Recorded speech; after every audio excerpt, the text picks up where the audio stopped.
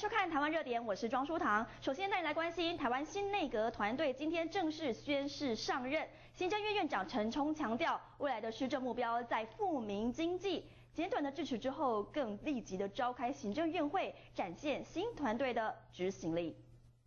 致辞是，于是已至成。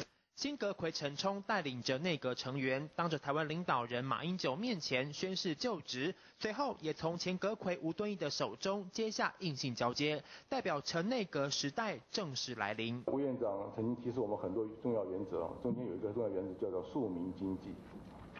呃，我相信下一步啊就是富民经济，但是这个富哈不应该仅仅是指金钱的价值，更应该坚持我们的生活的品质、文化的水准。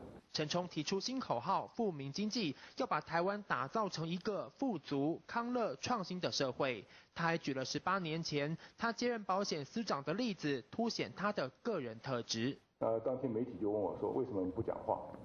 我说：“现在不是说的时候，现在是做的时候。”所以我们等一下才开始做，我们等下就要开三千两百八十五次的院会。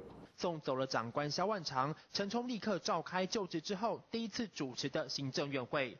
诚如他所言，做比说更重要，企图展现新内阁团队有效率的执行力。澳亚日陈启豪、朱少龙台北报道。